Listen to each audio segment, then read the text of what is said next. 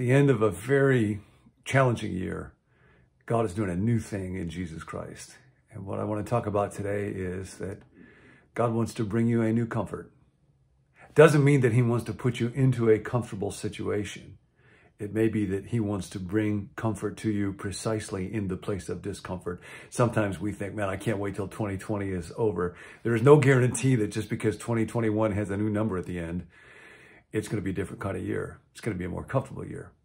And we see this in Jesus. This is looking at the beginning of his ministry when he goes into the desert. Today is part two. We saw yesterday where the Spirit drives him out, Mark says, from the river and the place of great comfort into the place of isolation and danger and fear, which is the desert.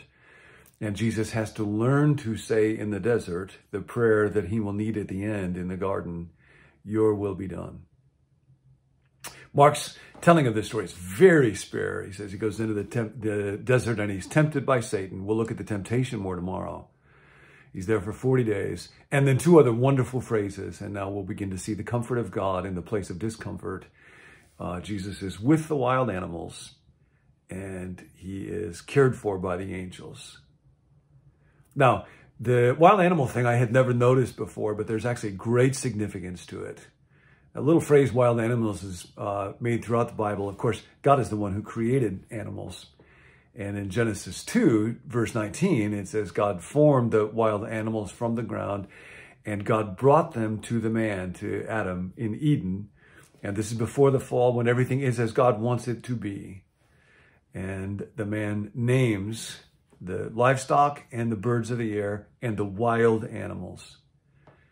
Now, the idea of naming is not just that he attaches labels to him. This is a deep part of uh, what it means to be human, to be made in the image of God, to exercise dominion. We're able to understand and deal with and get, and we admire people who can train animals, who can bring animals to the fullness of their potential.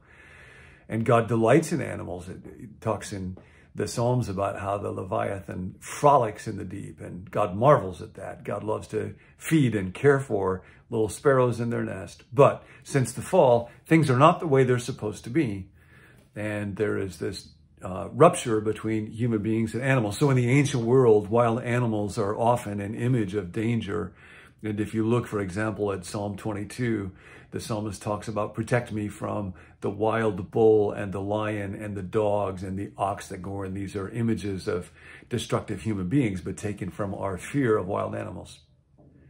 But a day is coming, the scriptures say, a new day when things will be as they ought to be. Every religion, every major worldview carries along with it a diagnosis of what is wrong with the world as we experience it today. And in Buddhism, it's the great problem is desire, uh, is suffering. And, and if we could eliminate desire, that would go away. In Marxism, it is that people are alienated from labor and from life, and a classless society would solve that. Every system has to work this out. And in the view of Christianity and essentially Judaism, the great problem is that things are not the way they are supposed to be.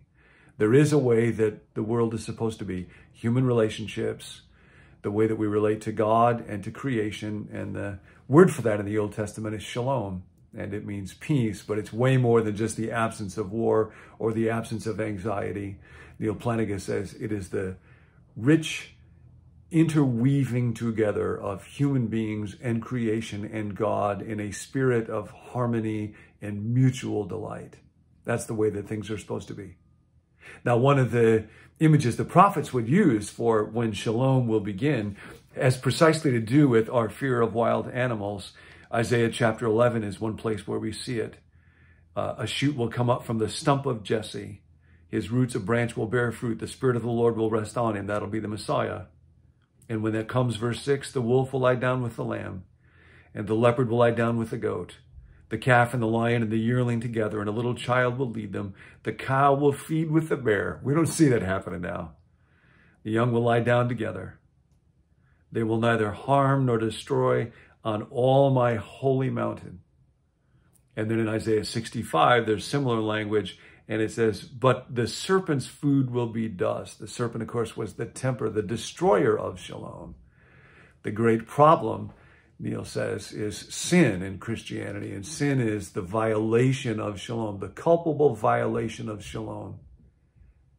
So when Jesus goes into the desert, he is with the wild animals. And Jack Levison says that little phrase, to be with in Mark, means to be peaceably with. Jesus chooses the disciples to be with him. A man delivered from demons wants to be with Jesus. Jesus realizes in the desert that a part of his mission is to be the restorer of shalom. And it begins with him right there in the place where he does not want to be, in the place of danger. He is with the wild animals. Shalom that sphere in which all is the way that God wants it to be. That is the sphere in which the sphere in which God's will is done. That is the kingdom of God, the range of God's effective will, where shalom happens, begins for crying out loud in the place of danger and temptation in the desert. And Jesus is with the wild animals.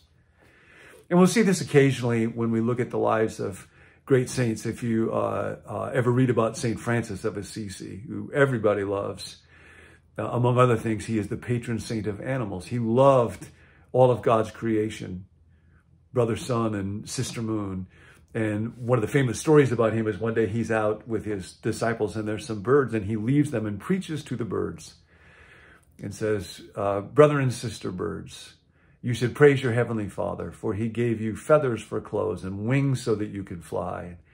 You don't reap or sow and yet he cares for you. So you ought always to praise him. And uh, if Francis had been a Baptist after that, he would have given an altar call. If he'd have been a televangelist, he would have taken an offering. But he was a Franciscan, and so he blessed them. And very often when you see a picture of Francis, it's with animals. It's interesting, at Christmas time, we love nativity scenes, that manger. Francis created the very first one, so far as we know. And he actually had a live ox and a live donkey there because he knew that God means blessing for all God's creatures. Jesus is with the wild animals, and then he's with the angels. And the angels care for him. The angels minister to him. I don't know about you. You may have stories about angels, or you may find it quite easy to believe in angels, or uh, they may be a stretch for you. We live in a world that makes it very difficult to believe in the unseen. C.S. Lewis says that he believes in angels, but not as they're often represented in arts or literature, pictures.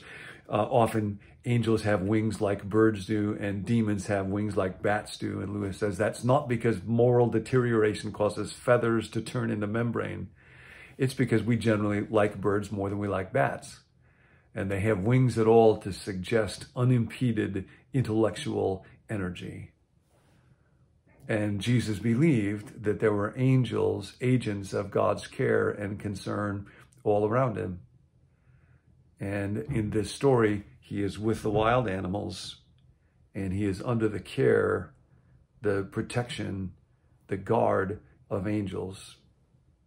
Now, what's going on here is spoken of remarkably in a psalm that's a beautiful psalm, Psalm 91. Whoever dwells in the shelter of the Most High rests in the shadow of the Almighty.